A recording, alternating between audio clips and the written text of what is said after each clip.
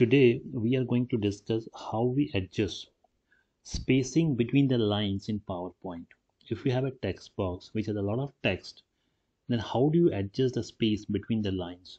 Many times it happens that you have a lot of text which you want to put in a single slide, but because of spacing, you're not able to adjust that into a single slide. How we solve that problem? Let's look at it today. So this is a sample text I'm going to use if you look at my slide there's a lot of space over here.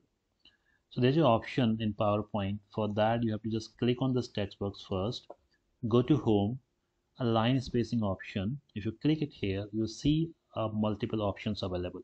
1.0 that's a default one 1.5 now you see the moment I go 1.0 and I go 1.5 there's space which is increasing.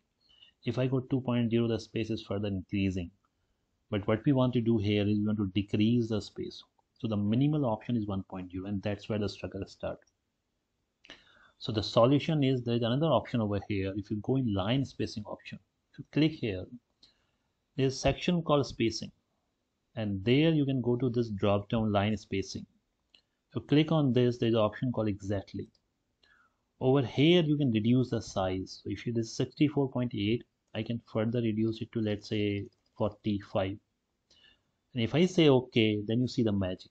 If I click on OK you see the space has been adjusted between the lines. The default option was 1.0 which was not helping us. But there's another option where you can adjust the space. Even you can further reduce it. If I go over here I can let's say make it for 39 it will further adjust. And now you have enough space available here where you can put either some icons you can add further messaging. So that's how you have enough space available. I learned this trick in a long time and thought of sharing with you all. Thank you very much for watching this video